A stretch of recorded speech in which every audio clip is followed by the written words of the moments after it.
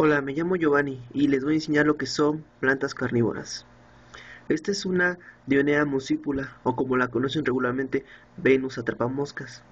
Este tipo de planta vive en un tipo de tierra que se llama substrato, que es una tierra baja en nutrientes.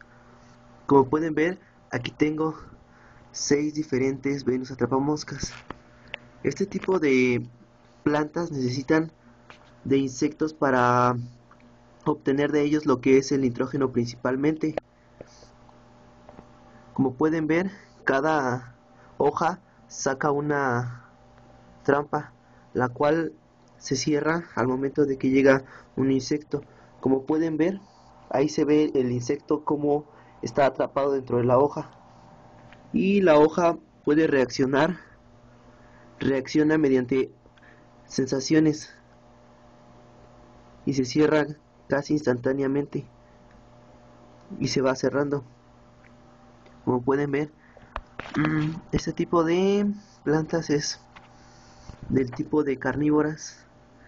Y a esta planta bueno a esta planta le salió flor pero como está un poco débil mejor se la corté y la puse en otro lugar ya que de esta flor que está aquí puede hay, hay en ocasiones llega a salir otra nueva plantita, Venus atrapamoscas, otra nueva trampa.